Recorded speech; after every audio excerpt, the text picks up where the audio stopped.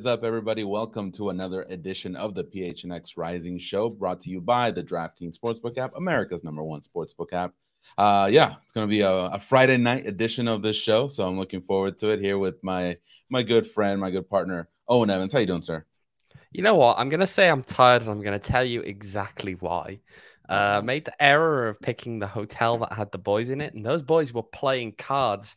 I could hear them through the paper thin walls of that hotel until early hours of the morning after that game. Boys, go Should to bed. Please. Don't keep me away. well, you know what game they're I just playing? wanted to sleep. I, I have no idea. All I know is that at one point, a certain goalkeeper might have been getting quite heated. Uh, I'm, I get a feeling like it's Lalo. No, no, no. the other one. well, uh, the, the boys. I'm not naming names. I'm not naming uh, names. There's only two goalkeepers, so. Um, but yeah, it's gonna be fun. Thank, uh, thank you for that info, uh, Owain. We have a great show uh, today. Um, like I said, it's gonna be a Friday night edition. We're gonna try to keep it positive. No, not too negative today. You know, um, but uh, what's it called? Yeah, we're going to be talking obviously about the game tomorrow against Colorado.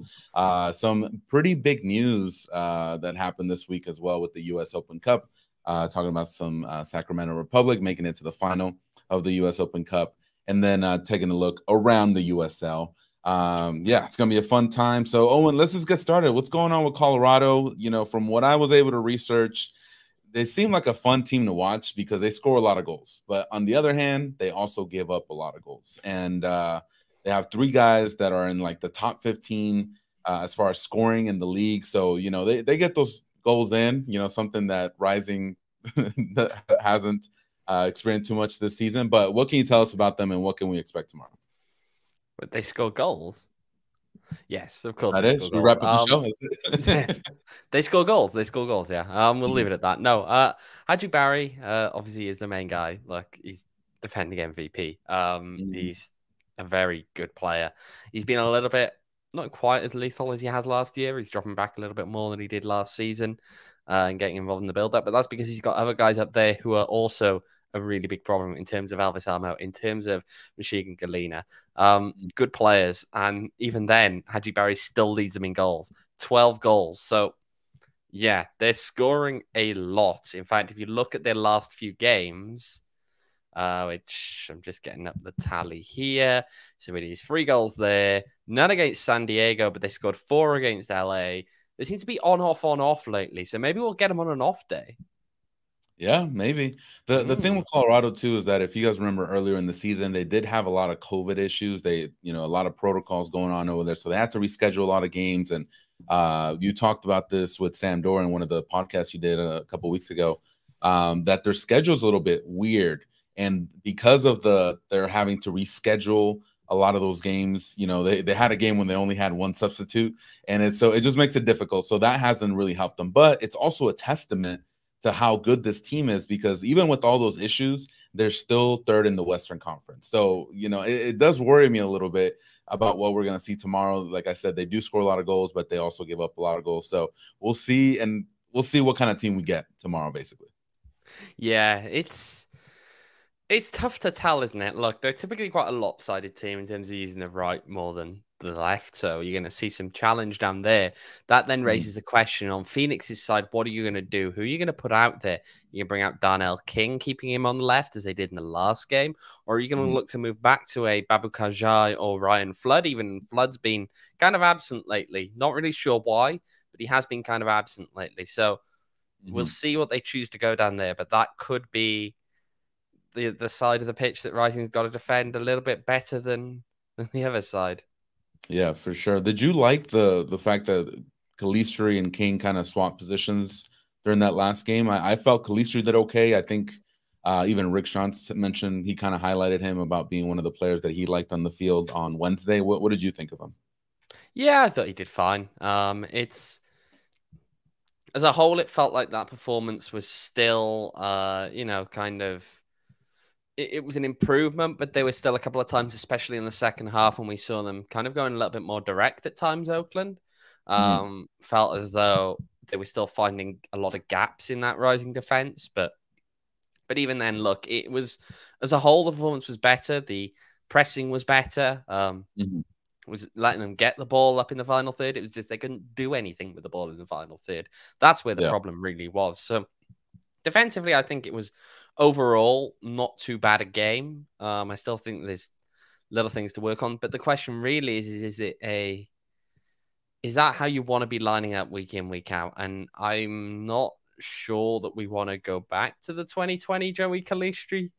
Uh, yeah, kind of situation that we've got had going on there, but we'll see. We'll see. And again, that's the point. We've seen this before. We've seen Joey as a right back with Darnell having to move over to the left in the past. Um, mm. So we knew that it, it could work. It has worked in the past, but I'm not sure that it's a permanent solution. Let's put it that way. For sure, for sure. Um, you know, you did mention the finishing in the final third for Rising. I, uh, you know, looking at the numbers here on the USL website, it kind of paints a picture of, you know, why Colorado is in the spot that they're in. Uh, as far as goal conversion is concerned, it's uh, or shot conversion is concerned, they're 21.8 uh, with their conversion rate when it comes to that. Now, when you look at Phoenix, I'm gonna let you guess what number. It's definitely above 10, but it's not as high as as Colorado. I'm not gonna guess. I'm not gonna guess. I'm gonna let you go ahead and just it's, tell uh, me. It's 11 percent for Rising. So okay. and they have they have approximately, I believe, from what I saw, either 75 or more shots uh, overall throughout the season. So that kind of tells you what kind of team Colorado is when they're in front of goal. They take advantage of these opportunities, and they're great opportunities for them to be able to finish them and and uh, and get them uh, get them on target and also get them in the back of the net. So, uh, 43 goals scored so far this season for Colorado. Uh, but they do give up a lot of goals, which is 31 so far this season. So approximately 1.5 per game, and they do have six clean sheets. But during their last five games, when they haven't really performed that well. So they're one, three, and one uh, during their last games, and they have given up a lot of goals in their last two games, especially. So, it, you know, that's kind of more. I feel like it's going to be more of an incentive for that team to perform better defensively, and you know, the way that they're playing, Rising should take advantage uh, of what's going on with that Colorado defense. You'd have hoped so, but it's still not a guarantee, is it? The problem is, again, as you mentioned earlier, Colorado had so many weekends where they're kind of doing that Friday, Monday kind of thing. And it's mm. either been they've had that on that weekend or it's the weekend before or the weekend after. And so sometimes both is the weekend before and the weekend after. And so mm. you're kind of just stuck in that that position whereby it's hard to really give it your all. And they're coming in the rested team now. Um, mm-hmm. They played last Friday, yes, but you know they've had now over a week off. They've got a solid week off after it, and pretty much a week off after that as well. So they're in a better position. They will be a little bit more rested, more so than we've seen in recent weeks, at least. So mm-hmm. mm, I'll have to yeah, see. And of see. course, the other thing to note in there is that Koze will be suspended for Phoenix Rising for this upcoming game. I'm not entirely certain if there was no appeal or if the appeal was denied. I believe mm-hmm. I'm leaning more towards the there was no appeal, but he will serve a one game suspension for his red card on Wednesday. So he'll be out tomorrow. Yeah. I was surprised about that because reading uh, the the preview from the Rising uh, website, uh, yeah, they, they specifically mentioned that Koza wasn't going to be part of the game. So I was like, there wasn't any appeal, like because it, it, didn't seem like a red to me. So I don't know if the problem kinda... comes from the fact that there are, to be clear, there'll be more cameras than uh than we get for the broadcast, mm. and not only that, but it also relies a bit on what the referee has written up, really, because there's yeah. a lot of scope for what can be, especially in a situation like that.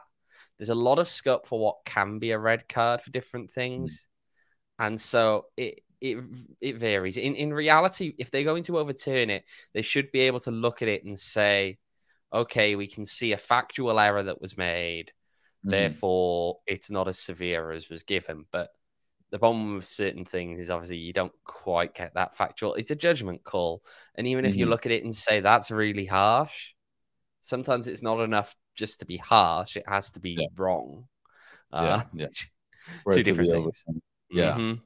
All right. Well, we'll see. So, uh, yeah, now that we're speaking about Rising, obviously there's some new faces that uh, might be available, should be available on Saturday. So, uh, were you able to speak to Rick about that? And any uh, any comments from him in regards to that? In- Indeed. So Wednesday night after the game, asked Rick about those two acquisitions that he had made, and here's what he had to say.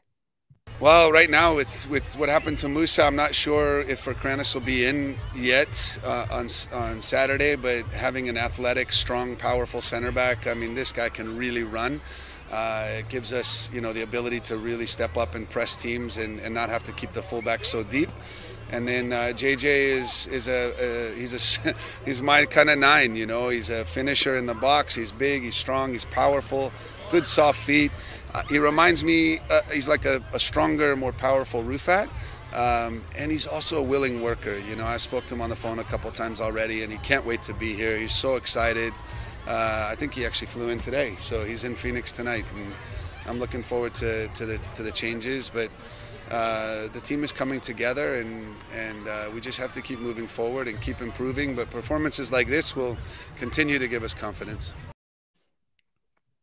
So yeah, those uh, players you had Marcus Ferkranus coming in on Tuesday. Uh, the news he was being loaned, and then Wednesday morning, of course, the news that the team had traded for JJ Williams from FC Tulsa.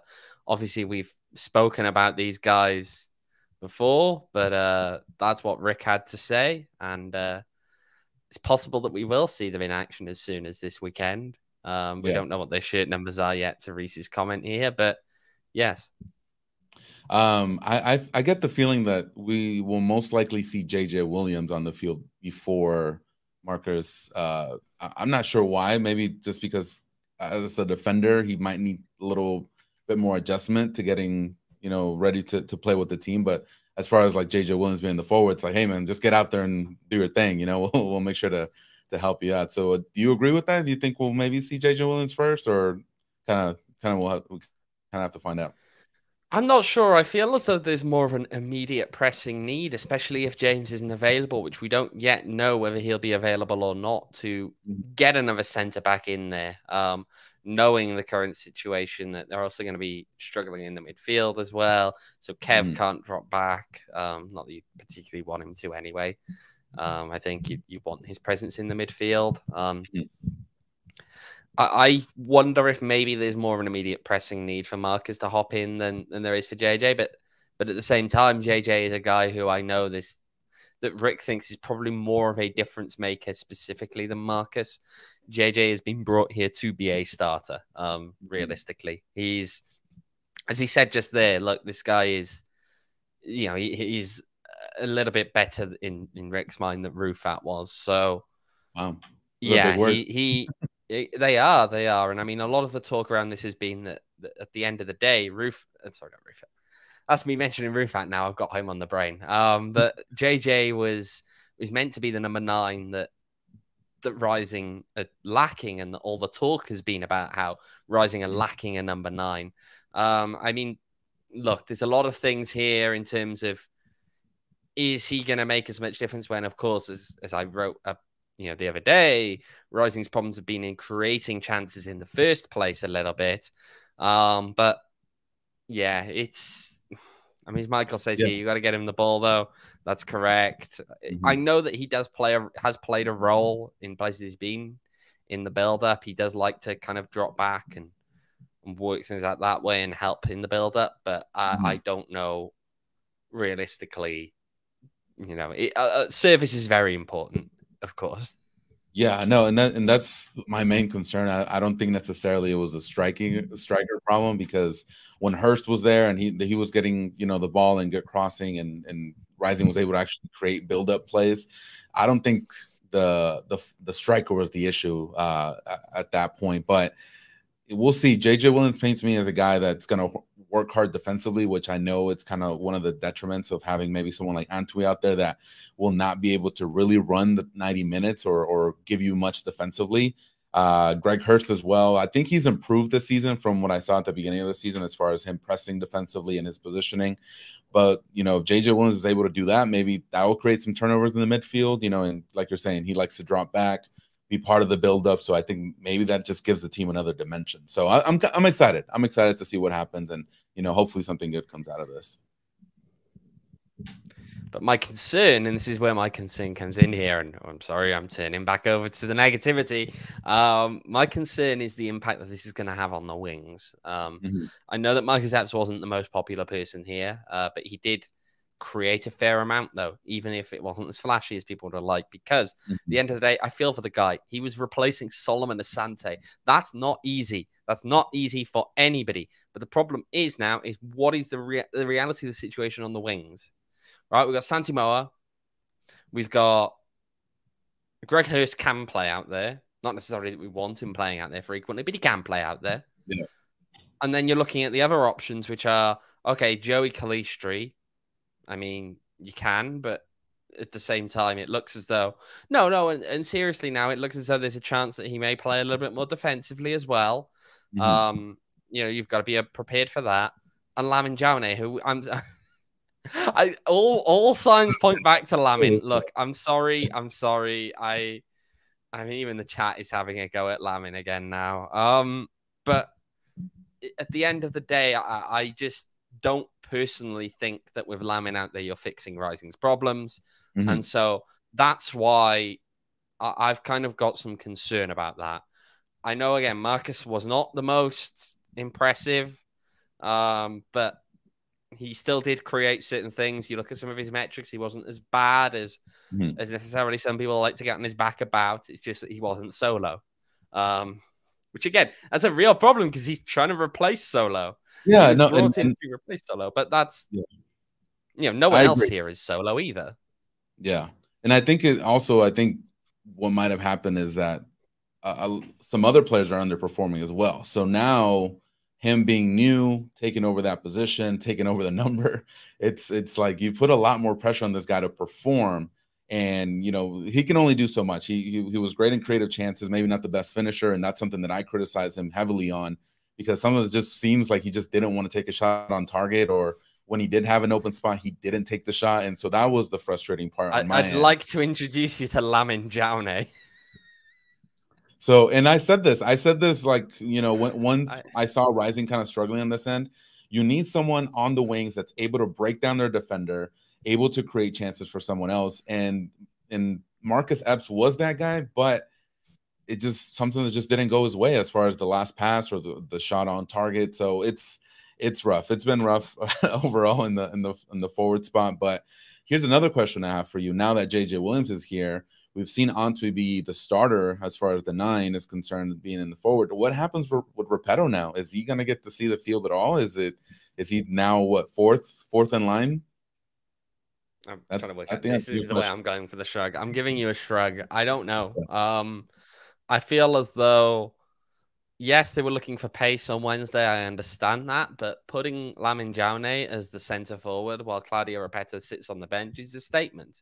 Um, it may not be intended as a statement, but it looks mm. like a statement, and it portrays a degree of confidence in the boys, um, in him in particular, that you'd rather put Lamin Jawneh up top than a guy who's been scoring goals in this league mm-hmm. in the past. Now, to, to, to the point here, look, I mean, Claudio was touted as the the true target nine when he came in. It didn't work out. Um, mm. it hasn't been working out so far.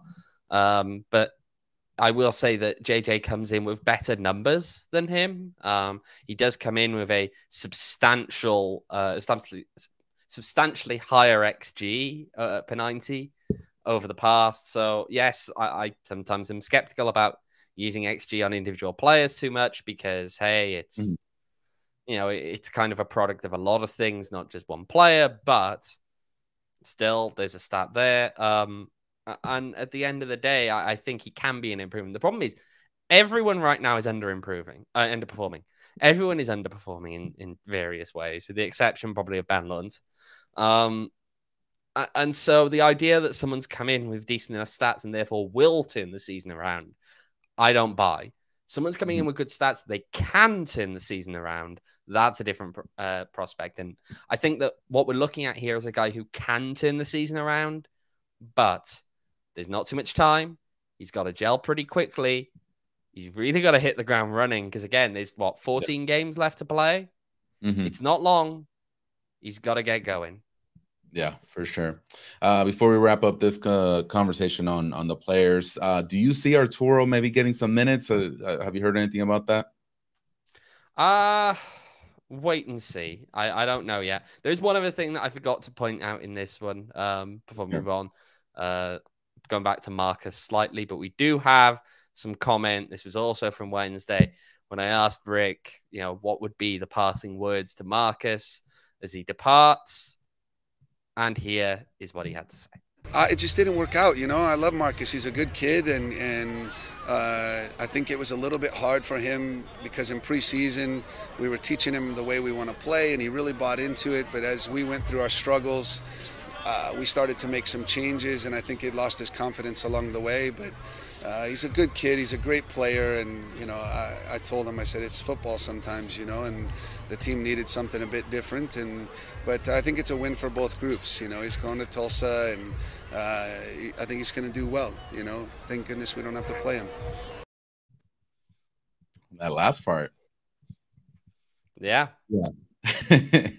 no, I, I, I think Rick kind of hit it on the nail with that. Something that just doesn't work out, and it's not like he's he's a bad player. he was a detriment to the team, but just sometimes, like he said, things changed. You know, if Rising was winning, you know, he'd probably still be here, but it's it just didn't work out that way. Speaking of former Rising players, Uh-oh. you know who I saw at Laney College? Let me just see. Who did I see at Laney College? Are you asking me? I'm not gonna guess. I, give, guess me a guess. Give me a guess. Give me a guess. You ain't, you ain't, guess on the percentage one, so I'm not gonna guess on this one. Oh. Sitting midfielder who may have departed the club this season. Oh, hmm. Mm. That's interesting. Mm. I wonder if the chat might be getting warm here.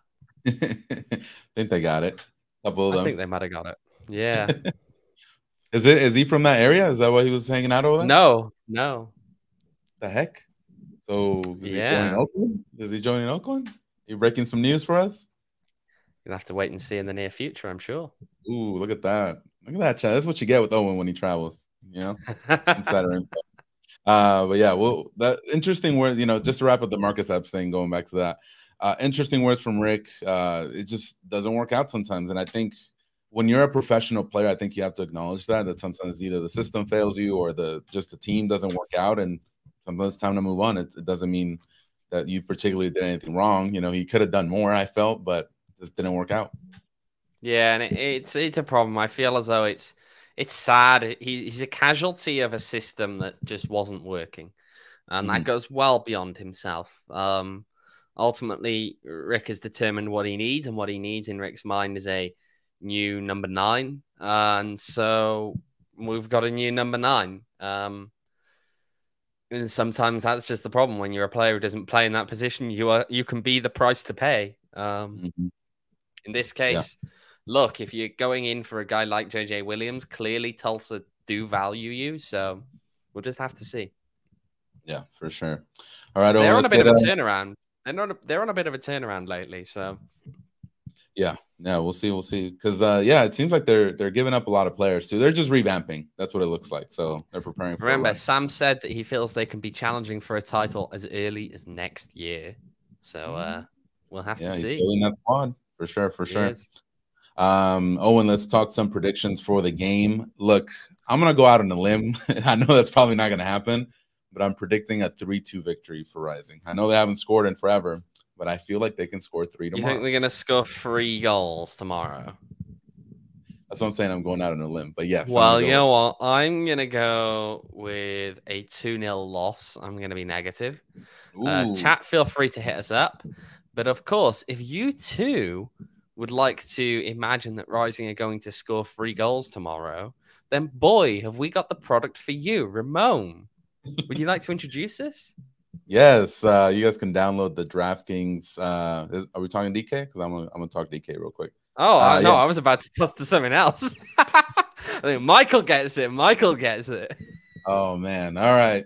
All right, we'll go since Michael said it, and I owe him, uh, I owe him a beer tomorrow. So if you guys want to, you guys can actually get some OG's products from our friends there at OG's. Uh, they just launched their first ever limited edition seasonal flavor, which is Pina Colada. It's a perfect pineapple and creamy coconut blend, which you can enjoy.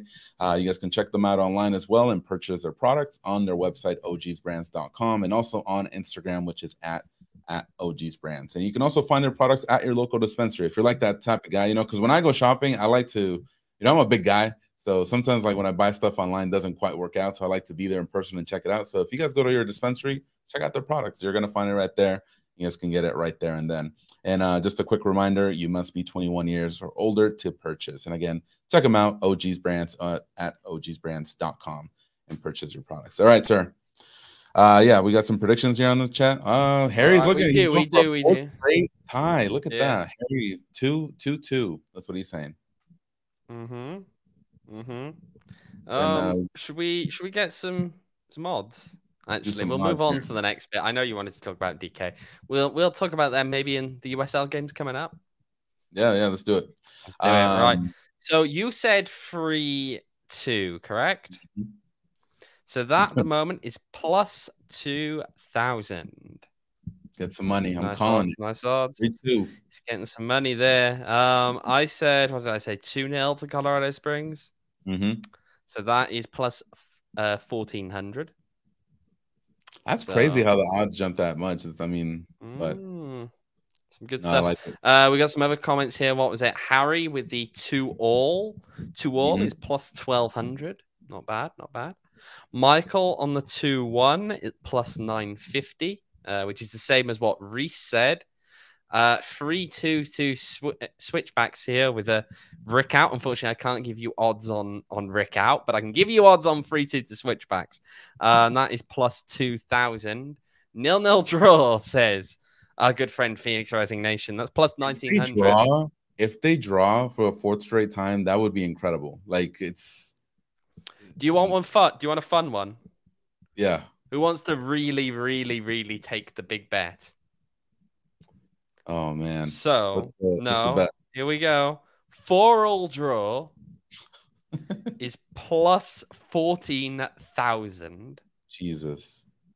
Is anyone gonna put? You got to check some cash on that, surely. I don't think it's no way in hell it's gonna happen. But hey, that's some Yeah, money right there. Five bucks on it. Nine zero says I can't BG. give you a nine 0 unfortunately. They don't do odds up to that high. I, I'd Oh, love man. to, but uh, it's, Yeah, see, Rising Yeah. Nation's man, he'll do it. He says he'll do it. So thank you yeah. for I hear Edward is gonna go and put ten on the four all draw, and if it comes comes good, he's gonna uh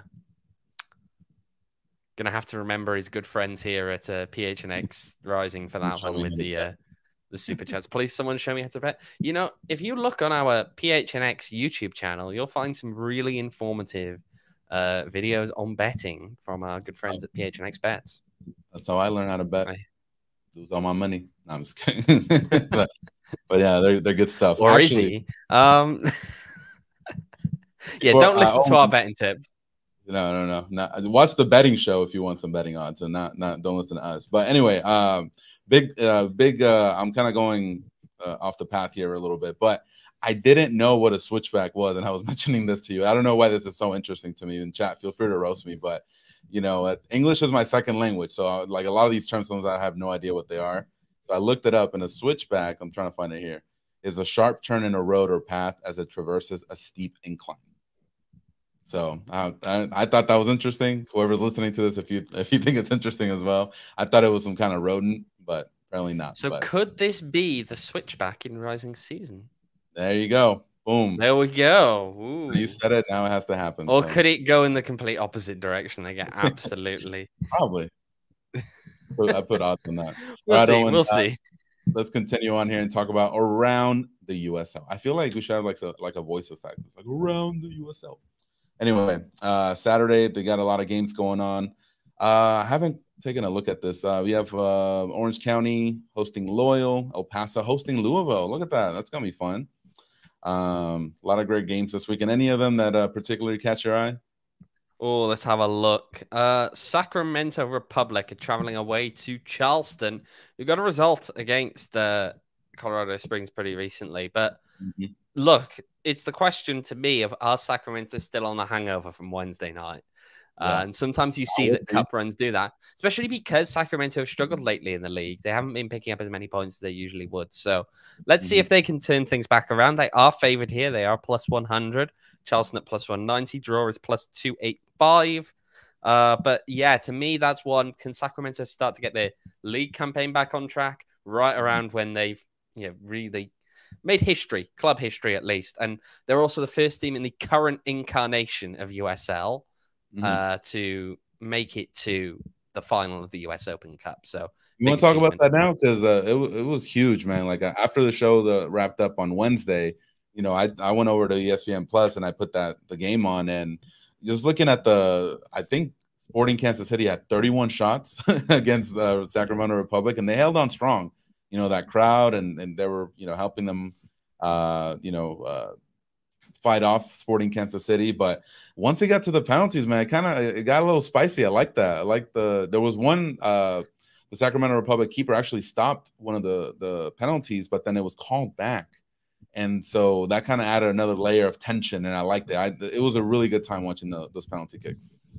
I feel like, and this is, we all kind of sit around, don't we, sometimes, and say the stuff about we don't want to prioritize the cup over the league. The league is the important thing, all of that what Sacramento have done this season, I, I, genuinely implore any Rising fan in the chat. You can be, you can go go tell me I'm wrong, and it's fine because you'll just be wrong. Mm-hmm. But you would swap places with them in a heartbeat in this current situation. Okay, even if right, and yes, okay, they're doing better than Rising in the league, so maybe that's a bit of a trick question. But even if Rising was doing well, I feel like the only reason people devalue the cup is because they genuinely don't think they will make the final. Even if they do well, you'll have a good run. You'll get to the round of 16, eh, whatever, a quarter final maybe. To you, that's a good run. But if you had the chance now to just say, you know what, forget it, miss the playoffs, but you'll make the Open Cup final, you take it, surely. Because what they have done is. Mm-hmm so special in the context of this league. Mm-hmm. I, I just, you know, they shouldn't be there. They're now 90 minutes away from the CONCACAF Champions League, right? That's insane. Just imagine having a CONCACAF Champions League night here in Phoenix. Just imagine it. Yeah. That's that's why I was kind of disappointed that they like Rising bowed out so early in the competition to Sacramento Republic. So because because that's what's on the line. You know, if you're able to make it that far and you're able to position yourself and you know in that spot, it gives you the opportunity. You know, the Concacaf Champions League. You know, it it'll bring in some money too. You know, so it's it, it's something that's going to help the club in the long term. It's going to pay a lot of the bills that are hanging around. So if you put the investment in there and you you know are successful, there's a lot of rewards at the end of the uh, of that journey. So it's it's something that I, you know, I, I, love to see Sacramento go forward, but it just hurts me because I know Rising had that opportunity. But we'll see. Maybe maybe next year or the coming years.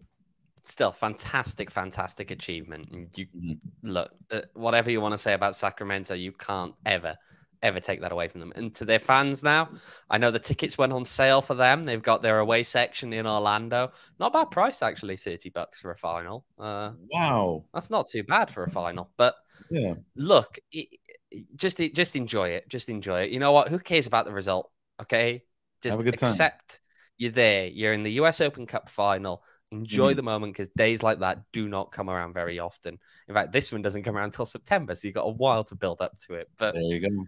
Just enjoy enjoy the night because it's a special one. Mm-hmm. Um, one last thing about that, I really hated the fact that the MLS Twitter account didn't acknowledge Sacramento. Like they put out like a, a graphic of Orlando and their keeper and whatever, but they didn't include Sacramento in the graphic, first of all. And they didn't even tag them on the tweet. And that was like some next level pettiness, which, you know, kind of, kind of, you know, didn't sit right with me. But anyway. yeah, don't, don't worry, don't worry, Don. Cup's coming to USL. Don't worry, Don. It'll come. You home. can sit there with um, your expired some contracts. Yeah.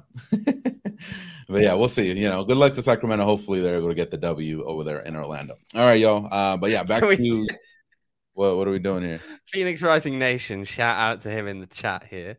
Uh, Jesus. Oh my god. Enjoy, guys. Thanks. They're way way too creative in the chat. They, um, they are.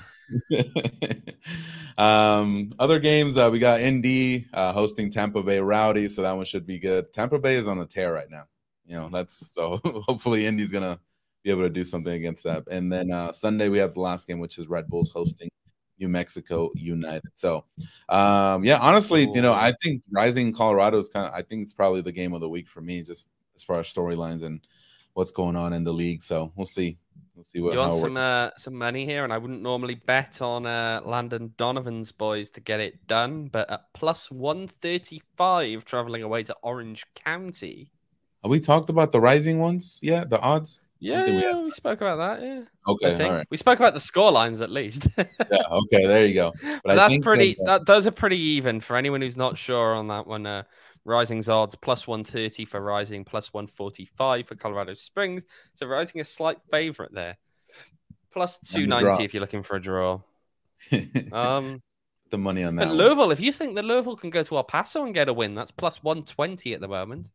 Easy money, baby. Get that. Yeah, and then anyone else of any note who wants to pick the best of the worst? We're looking at the best of the worst game. With they're not actually both bottom, but one of them is Loudoun and Monterey Bay. Loudoun at plus one thirty, Monterey Bay at plus one forty five. A draw there at plus two eighty five. Who you taking?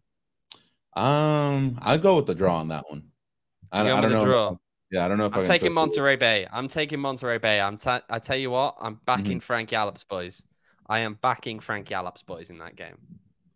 Um, I don't know if they win. You know, it kind of put Rising in the tough position if they don't get a result tomorrow. But uh, but yeah, we'll see. Hope we'll see. Monterey's been playing okay off and on, so well, hopefully they can get a result as well. All right, Owain. Uh, since we we're talking about uh talking about odds, let's talk about our friends at DraftKings. So if you guys haven't downloaded the app, make sure to do it. Again, it's the DraftKings Sportsbook app. And when you do so, you can use the promo code PHNX. And when you make your first deposit, you get a risk free bet up to $1,000. And again, that's promo code PHNX only at DraftKings Sportsbook. Minimum age and eligibility restrictions apply. Make sure to check out the show notes for more details. Monterey Bay Football Club United.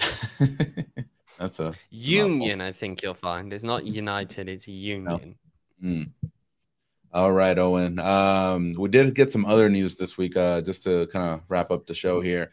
Our friends at Valley United uh, are no longer a part of NISA, apparently. So Well, they're not Uh, operating this season. They may come back next year. maybe, maybe. But Maybe. uh, if you guys, you know, haven't heard, they were doing some shady stuff, basically, right? As well, they were as the- accused of they were accused of some shady stuff. You go. We don't know all the details, of course. Uh, Mm-hmm. elements of it have come out uh, via various media outlets, um, and also even by Nisa's own admission, there have been investigations that you know are ongoing in cooperation with the Department for Homeland Security. So those are not good signs, are they? If you're being investigated by uh you know, Homeland Security and you're a football club in Nisa. Not That's good. bad. That's Yeah. very bad. But um we'll, we'll to see. a, like a football team, and then hey, you know, got, you got Homeland Security knocking at your door. Not That's good. good. That's not good at all. Yeah, you don't want the IRS, Homeland Security, any of that stuff. You never want those uh checking in on you. But uh, I got the statement here, and then what it says here: due to the complexities and time involved with the current legal issues surrounding Valley United, NISA and Valley United have agreed that it would be the best for Valley to suspend all operations for the balance of the 2022 season. That's that's something, man. so, um, yeah.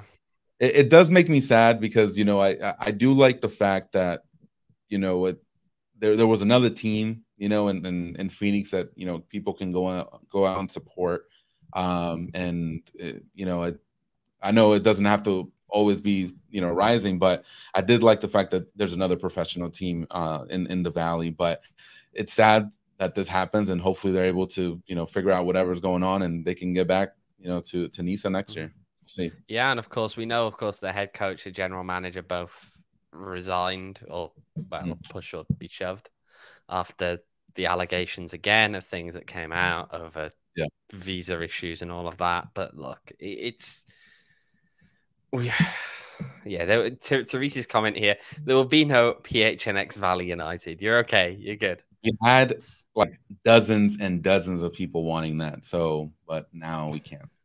Dozens and dozens. Yeah, I, I one or two, one or two maybe. Um, but hey.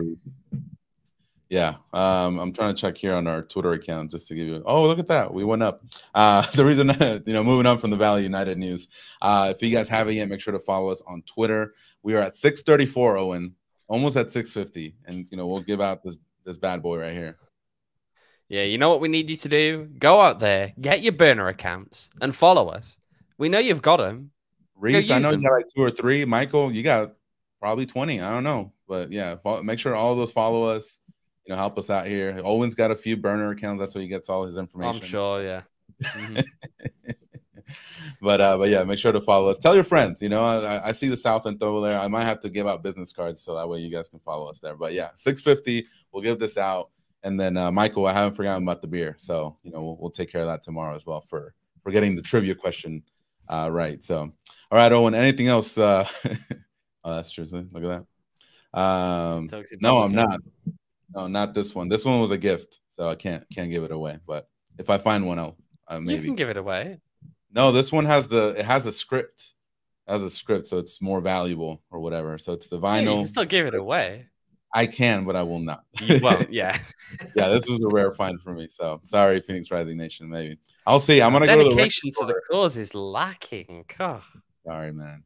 Yeah, I'm gonna go to the record store, and if I find something good, I might give it out. But again, we need to get to 650 first before I start giving more stuff out. So yeah, keep, um, keep boosting these numbers, boys. Come on, get those burners. Let's get going. Come on. Every other PHN account seems to 650.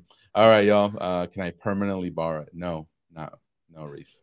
Um, but yeah, uh, we will be back tomorrow, Owain, uh, for the post game show. Hopefully with mm-hmm. the positive show. I want to, I want a W, man. I'm tired. I don't, I don't want no more draws or losses. Like, no, give me a W. Give me those three points. Send me home happy so that way I can. Rumor, rumor has it that if they can finally win a game, Ramon is just going to get himself a bottle of tequila and down it live on air. That's what rumor has it. And in fact, you know what? Smash that like button. Tell us that you want that to happen.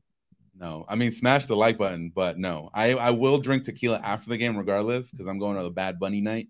Uh, but yes, I will not do it live on camera though. But after the game, I think you should. I'll post it. You know, we'll see. I'll let y'all know how. He'll post it. There we go. As long as he posts it, that's okay. We'll have that. And uh, uh, no, we're not finishing with prayer, Rising Nation. Sorry. No, no, sorry. All right, y'all. Thank you so much for watching us on this Friday night. Go out, have a good time. If you're staying home, chillax, have a great time. We will see you tomorrow for the post game show. No one else see you tomorrow as well. Take care, everybody, and have a great night.